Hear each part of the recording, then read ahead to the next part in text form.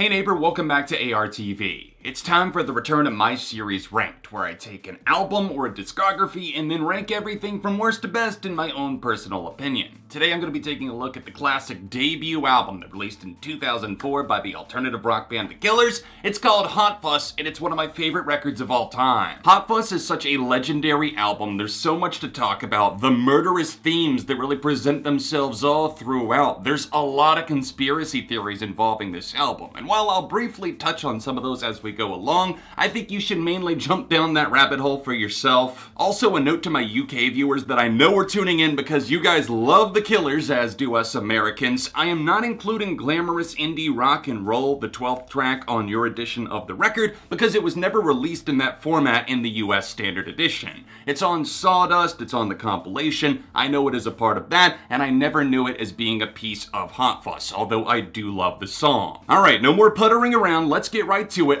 11 songs to rank from worst to best. What will prevail? I hope you enjoy the video. Keep in mind, it's just my opinion. I would love to see how you would rank these 11 tracks. Let me know in the comments, and don't forget to drop a like while you're here.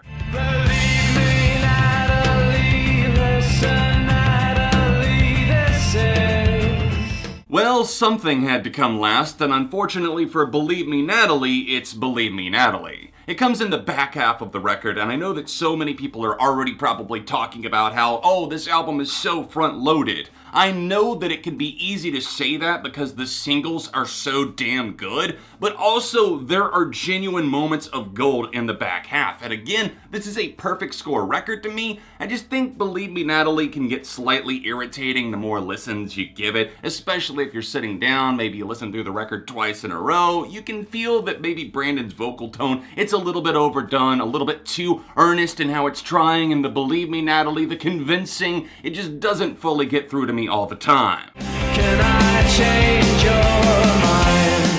In number 10, we have Change Your Mind, a romantic little ode that is nice to listen to. It's a very simple, straightforward song, and that can also kind of be its Achilles heel, at least the more times you come back to it. I feel that compared to the other gargantuan titans on Hot Fuss, this one, as Brandon, or else the narrator of the track, tries to rekindle this old flame, I just find myself not caring as much by the time the song ends.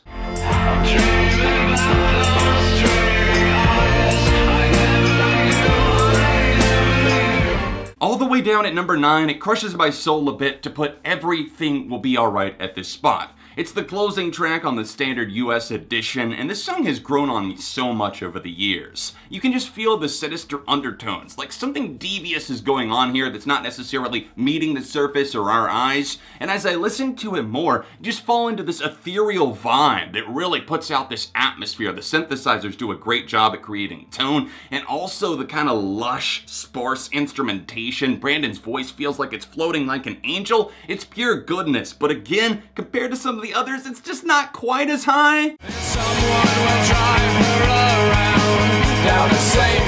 You should see regret painted all over my face right now as we approach number 8, Smile Like You Mean It. This was one of the singles off of Hot Fuss. It got a music video that I absolutely love. I don't think the Killers themselves like it for whatever reason, but the orgasmic synthesizers on this that really just back up this sarcastic tone. There's heavy doses of sarcasm just fluttering all about this song. Save your face, you know you've only got one. The guitars that back this up and the pre-chorus, everything about this song feels like a tidal wave that's slowly rushing over you. Leave your legacy in gold Perhaps one of the most heavily debated and discussed songs on the entire record clocks in at number 7, Andy, You're a Star. This song is one that I think a lot of people feel is about a gay relationship, at least one where there's a gay crush involved, and I can see that perspective for sure. In fact, I think it might be accurate. I think that Brandon Flowers had this athlete in high school that maybe picked on him. His name was Andy. And now that Brandon is a star, the roles reverse. But along the way, maybe that admiration and secret jealousy for what he had was a possible love connection that was missed. I love the slow, brooding feel of this song, something that can also be heard on the Sam's Town track Uncle Johnny that I absolutely love. I love the fact that it just leaves a searing imprint with you and it makes you think about what's below the surface. Well, somebody told me you had a boyfriend who looked like a girlfriend. We've arrived at Club Heaven as number 6 is Somebody Told Me. This was one of my first two Killers songs. I'm not sure if it was this or Mr. Brightside, but I still continuously jam this song all the time. It has a little bit of disco with that syncopated drum loop and also the guitars that build up so nicely, the squealing synthesizers. Brandon Flowers is talking about this girl that maybe he can't get with, maybe there's something between them. He's been breaking his back, 17 songs, dancing the night away, and it's just so good. It has this pulsating dark vibe to it, and I can't get enough still.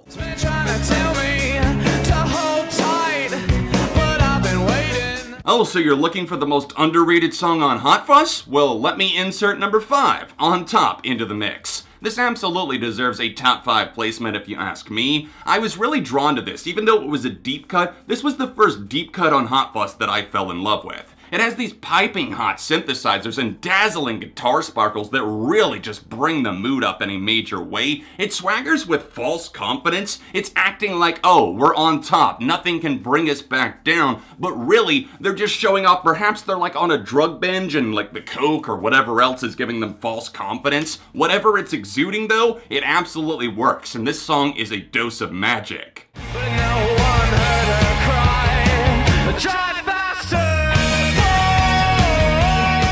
If you're a big fan of The Killers, then you're certainly familiar with the label The Murder Trilogy, and part two of that trilogy is Midnight Show. This song lands at number 4 on my personal ranking, and it's so good. It gives you this feeling like you're running away from the crime that you just committed, and I know that's what the song is portraying, but basically I'm saying it does that exceptionally well. There aren't too many songs that can capture that feeling like you're in the getaway car and you just did something awful. You murdered your girlfriend Jenny or whatever the case may be. You know you did it and you're driving faster and faster, just howling down the highway. This song captures all of that in a bubble and it's so spectacular. I still can't wrap my head around how well they did it. The guitars, the drums, the atmosphere, it's untouchable.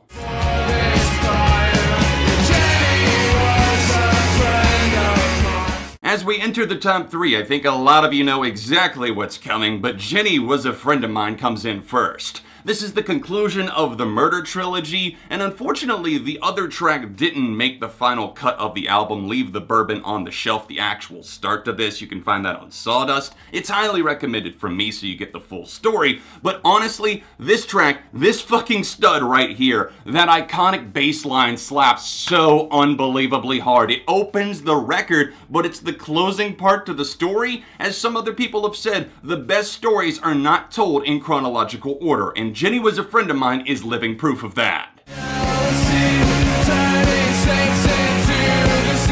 Ladies and gentlemen, may I present for your consideration Mr. Brightside, the best song about jealousy ever written. I have never seen a song that captures that emotion so, so well. You are sick to your stomach. You don't know what's going on because you're not in the room. You're just letting your imagination run wild. Mr. Brightside features some of the most iconic guitar riffs of all time. The drums, the vocals, they are yearning so hard. It is angst. It is swelling up inside you. And then the release of emotion when we get to that chorus, the meltdown in the bridge, it gives me chills just thinking about it. So I'm going to have to go ahead and move on to number one.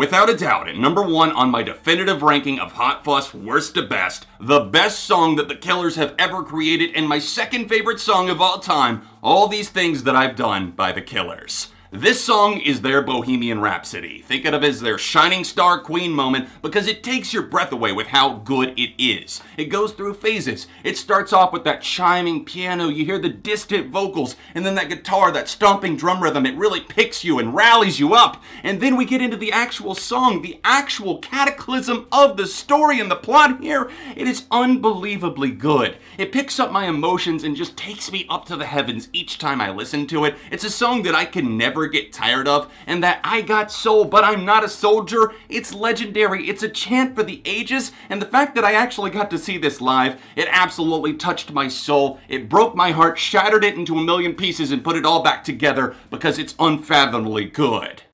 Unfathomably. Unfathom? Unfathomably? I can't say the word. Thank you guys so much for tuning into my ranking of Hot Fuss, every song worst to best. What did you think of my personal ranking? Any major agrees, disagrees? Sound off in the comment section down below and rank the album for yourself down there. Don't forget to drop a like on the video while you're here, subscribe with notifications on so you don't miss out on future episodes like this. Ranked is definitely back. I have more episodes up my sleeve very, very soon. If you want to support the channel financially, then hit my Patreon. It should be on screen now or else the top link down below. All of my socials are down there as well, and I'll see you soon for more on ARTV.